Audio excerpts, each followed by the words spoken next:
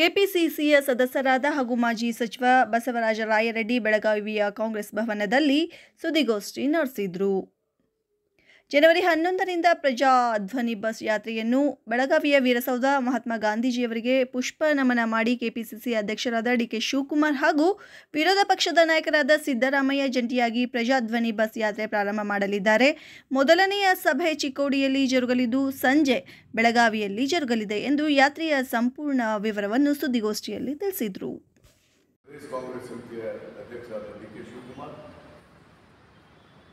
ವಿರೋಧ ಪಕ್ಷದ ನಾಯಕರಾದ ನಮ್ಮ ಸಿದ್ದರಾಮಯ್ಯನವರು ಮಾಜಿ ಮುಖ್ಯಮಂತ್ರಿಗಳು ಮತ್ತು ನಮ್ಮ A I C C general secretary Surjewala ನಮ್ಮ ಪ್ರದೇಶ ಕಾಂಗ್ರೆಸ್ ಸಮಿತಿಯ ಕಾರ್ಯಾಧ್ಯಕ್ಷರು ಇನ್ನಿತರ ಮುಖಂಡರು ಎಲ್ಲರೂ ಸೇರಿ ಈ ಆಂದೋಲನವನ್ನು ಪ್ರಜಾಧ್ವನಿ ಅನ್ನುವ ಹೆಸರಿನಲ್ಲಿ ನಾವು ಒಂದು ಪ್ರವಾಸ ಕಾರ್ಯಕ್ರಮವನ್ನು ಬೆಳಗಾವಿಯಿಂದ ಜನವರಿ ಪ್ರಾರಂಭ ಮಾಡ್ತೀವಿ ಅದನ್ನು ಅದೊಂದು ಐತಿಹಾಸಿಕ ದಿನ. ಯಾಕಂದರೆ ಬೆಳಗಾವಿ ನಮ್ಮ ಕಾಂಗ್ರೆಸ್ ಪಕ್ಷಕ್ಕೆ ಸಂಬಂಧಿಸಿದಂತೆ it's an historical city for us and to the people ಯಾಕಂದರೆ ಹತ್ತೊಂಬತ್ತು ನೂರ ಇಪ್ಪತ್ನಾಲ್ಕರಲ್ಲಿ ಕಾಂಗ್ರೆಸ್ಸಿನ ಪಕ್ಷದ ಮಹಾಧಿವೇಶನ ಇಲ್ಲಿ ನಡೆದು ಪೂಜ್ಯರಾದಂಥ ಮಹಾತ್ಮ ಗಾಂಧೀಜಿಯವರು ಅಧ್ಯಕ್ಷತೆಯಲ್ಲಿ ನಡೆದಿರುವಂಥ ಏಕೈಕ ಸಭೆ under the Mahatma Gandhiji leadership ಅದಕ್ಕೆ ಈ ಏನು ಸ್ವಾತಂತ್ರ್ಯದ ಸಂಗ್ರಾಮ, ಒಂದು ಹಂತಕ್ಕೆ ಇಲ್ಲಿಂದಲೇ ಪ್ರಾರಂಭ ಆದ ಬ್ರಿಟಿಷರ ವಿರುದ್ಧ ಪ್ರಾರಂಭ ಆದಂಥ ಚಳವಳಿ ಅದೇ ಥರ ಈ ಬಿ ಜೆ ಪಿ ವಿರುದ್ಧ ಬಿ ಜೆ ಪಿ ಹಟಾವು ಚಳವಳಿ, ಬೆಳಗಾವಿಯ ಐತಿಹಾಸಿಕ ಏನು ನಮ್ಮ ಕಾಂಗ್ರೆಸ್ ಅಧಿವೇಶನ ನಡೆದಂಥ ಸ್ಥಳ ಇದೆ, ಆ ಪುಣ್ಯ ಭೂಮಿ ಅಲ್ಲಿಂದ ನಾವು ವೀರಿಸೋದ್ರ ಮುಖಾಂತರ ಮಹಾತ್ಮ ಗಾಂಧೀಜಿಯವರ ಪುತ್ಥಳಿಗೆ ಗೌರವ ಅರ್ಪಣೆ ಮಾಡುವ ಮೂಲಕ ಜಂಟಿ ಪ್ರವಾಸ ಕಾರ್ಯಕ್ರಮ ಪ್ರಾರಂಭ ಆಗ್ತದೆ. ತದನಂತರ ಚಿಕ್ಕೋಡಿಯಲ್ಲಿ ನಾವು ಹನ್ನೊಂದು ಗಂಟೆಗೆ ದೊಡ್ಡ ಸಾರ್ವಜನಿಕ ಸಭೆ ಆಗ್ತದೆ. ನಂತರ ಮಧ್ಯಾಹ್ನ ಬೆಳಗಾವಿಯಲ್ಲಿ ಪಬ್ಲಿಕ್ ಮೀಟಿಂಗ್ ಆಗ್ತದೆ, ಸಾರ್ವಜನಿಕ ಸಭೆ.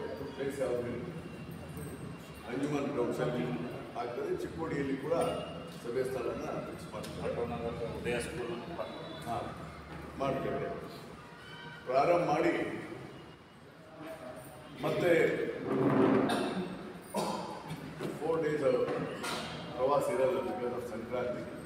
ತದನಂತರ ವಿಜಯನಗರ ಹೊಸಪೇಟೆ ಜಿಲ್ಲೆ ಕೊಪ್ಪಳ ಜಿಲ್ಲೆ ಬಾಗಲಕೋಟೆ ಜಿಲ್ಲೆ ಗದಗ ಜಿಲ್ಲೆ ಹಾವೇರಿ ನಮಗೆ ಹೀಗೆ ಉತ್ತರ ಕರ್ನಾಟಕದ ಪ್ರವಾಸ ವಿವರಗಳನ್ನು ಕೊಡ್ತೇವೆ. ಇದು. ಮೊನ್ನೆ ನಾವು ಮಾದಾಯಿ ಕಾರ್ಯಕ್ರಮ ಮಾಡಿದ್ವಿ. ಈಗ ಬಿಜಾಪುರ ಟೌನಲ್ಲಿ ಮಾಡಿದ್ದೇವೆ ಕೃಷ್ಣ. ಹೀಗಾಗಿ ಅಲ್ಲಿ ಬಾಗಲಕೋಟೆ ಮಾಡ್ತೇವೆ. ಎರಡು ಡಬಲ್ ಸಾರಿ ಎರಡು ಸಾರಿ ಮಾಡ್ಬಾರ್ದು. ಒಂದು ಗೌರ್ಮೆಂಟ್ ಎಲೆಕ್ಟ್ರಿಕ್ ಅದಕ್ಕೆ ಎಲ್ಲ ಜಿಲ್ಲೆಗಳನ್ನ ಜಂಟಿ ಕಾರ್ಯಕ್ರಮವನ್ನು ಮುಗಿಸಿ ಸಿದ್ದರಾಮಯ್ಯನವರ ನೇತೃತ್ವದಲ್ಲಿ ಉತ್ತರ ಕರ್ನಾಟಕದ ಹದಿನಾಲ್ಕು ಪಾರ್ಲಿಮೆಂಟ್ ಶಿವಕುಮಾರ್ ನೇತೃತ್ವದಲ್ಲಿ ಅಲ್ಲಿ ದಕ್ಷಿಣ ಭಾಗದಲ್ಲಿ ಹದಿನಾಲ್ಕು ಪಾರ್ಲಿಮೆಂಟ್ ಮಾಡಿ ಹೇಳಿ. ಸರ್, ಈಗ ಬೆಳಗಾವಿದ ಯಾಕೋ ಕಾರ್ಯಕ್ರಮ ಕನ್ಫ್ಯೂಸ್ ಆಯಿತು. ಈಗ ತಾವು ಕಾರ್ಯಕ್ರಮಕ್ಕೆ ಚಾಲನೆಯನ್ನು ಕೊಡ್ತಾ ಇರೋದು ವೀರಸೌಧ ಮಹಾತ್ಮ ಗಾಂಧೀಜಿಯವರು ಅಧಿವೇಶನ ಮಾಡಿದಂಥ ಆಮೇಲೆ ಸಮಾವೇಶ ತಾವು ಈ ಕಡೆ ಮಾಡ್ತಾ ಇದ್ದೀವಿ ಅಂದರೆ ನಿಮಗೆ ಅದು ಜನರಿಗೆ ಕನ್ಫ್ಯೂಸ್ ಆಗೋದಿಲ್ವಾ? ಅಂತ ಒಂದು ಕಡೆ ಕಾರ್ಯಕ್ರಮಕ್ಕೆ ಚಾಲನೆ ಕೊಡೋದು ಪ್ಲೀಸ್ ಡೋಂಟ್ ಗೆಟ್ ನಾವು ಹೇಳ್ತಾ ಇರೋದು, ಈ ಪ್ರಜಾಧ್ವನಿ ಆಂದೋಲನ ಪಿ ಹಟಾವ್ ಕಾರ್ಯಕ್ರಮ ಇಲ್ಲಿಂದ ಪ್ರಾರಂಭ. ಹಿಸ್ಟಾರಿಕಲ್ ಪ್ಲೇಸ್ ವೀರಸೌಧದ ಮಹಾತ್ಮ ಗಾಂಧೀಜಿಯವರ ಪುತ್ಥಳಿಗೆ ಗೌರವಾರ್ಪಣೆ ಮಾಡುವ ಮೂಲಕ ಪ್ರಾರಂಭ ಆಗ್ತದೆ. ಫಸ್ಟ್ ಮೀಟಿಂಗ್ ಚಿಕ್ಕೋಡಿಯಲ್ಲಿ ಆಗ್ತದೆ. ಪಬ್ಲಿಕ್ ಮೀಟಿಂಗು ಮುಗಿದ ನಂತರ ಬೆಳಗಾವಿಯಲ್ಲಿ ಈವ್ನಿಂಗು ಸಾಯಂಕಾಲ ಇಲ್ಲಿ ಸಾರ್ವಜನಿಕ ಸಭೆ ಆಗ್ತದೆ. ಬಸ್ ಯಾತ್ರೆ. ಬಸ್ ಯಾತ್ರೆ. ಸರ್ ಇವಾಗ ನೀವು ಬಸ್ ಯಾತ್ರೆಯನ್ನ ಜಂಟಿಯಾಗಿ ಬಸ್ ಯಾತ್ರೆಯನ್ನ ಮಾಡ್ತಾ ಇದ್ದೀರಿ. ಅದೇ ನಂತರ ಮತ್ತು ಸಿದ್ದರಾಮಯ್ಯನವರು ಫೆಬ್ರವರಿ ಎರಡು ತಾರೀಕು ತನಕ ಇದರಿಂದ ಬಸ್ ಮಾಡ್ತಾರೆ. ಈಗ ಈ ಎರಡು ರೀತಿ ನೀವು ಪ್ರವಾಸ ಕೈಗೊಳ್ತಾ ಇದ್ದೀರಿ. ಈ ಜಂಟಿ ಪ್ರವಾಸವನ್ನು ನಮ್ಗೆ ಇನ್ನೂವರೆಗೆ ಗೊತ್ತಾಗ್ತದೆ ಸಿದ್ದರಾಮಯ್ಯ ಅವ್ರನ್ನು ಮತ್ತು ಡಿ ಕೆ ಸಿ ಅವ್ರನ್ನು ಬಂದ್ ಮಾಡ್ಲಿಕ್ಕೆ ಈ ಜಂಟಿ ಕಾರ್ಯಾಚರಣೆ ನಡೀತಾ ಇದೆಯಾ? ಏನ್ ಪಾರ್ಟಿ ಪಕ್ಷ ಇದನ್ನ ಒಂದು ಇದು ಮಾಡ್ಕೊಂಡು ಹೋಗ್ತಾ ಇದೆ? ಒಂದು ಪಾರ್ಟಿ ಅಂದಮೇಲೆ ನಾವೇನು ಬೇರೆ ಆಗಿಲ್ಲ ಪ್ರಶ್ನೆ ಇಲ್ಲ.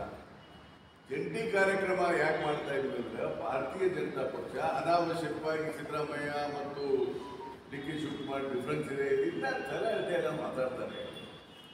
ಅದು ಏನೇ ಪಕ್ಷದ ಯುನಿಟಿಯನ್ನ ನಾವು ಹಿಡ್ಕೊಳ್ಳಿಕ್ಕೆ ಪ್ರತಿ ಜಿಲ್ಲಾವಾರು ಎಲ್ಲ ಲೀಡರ್ಸ್ ಯೂನಿಟಿಯಾಗಿ ಬಂದಿದ್ದೇವೆ ಅದನ್ನ ಹೇಳಲೇಬೇಕಾಗ್ತದೆ. ಆ ಹಿನ್ನೆಲೆಯಲ್ಲಿ ಡಿಸ್ಟ್ರಿಕ್ಟ್ ವೈಸ್ ಮಾಡ್ತೇವೆ. ತದನಂತರ ನೋಡಿ ಅಸೆಂಬ್ಲಿ ವೈಸ್ ಯಾಕೆ ಮಾಡ್ತೇವೆ ಅಂದರೆ ಇನ್ನೂರ ಇಪ್ಪತ್ನಾಲ್ಕು ವಿಧಾನಸಭಾ ಕ್ಷೇತ್ರ ಇದೆ.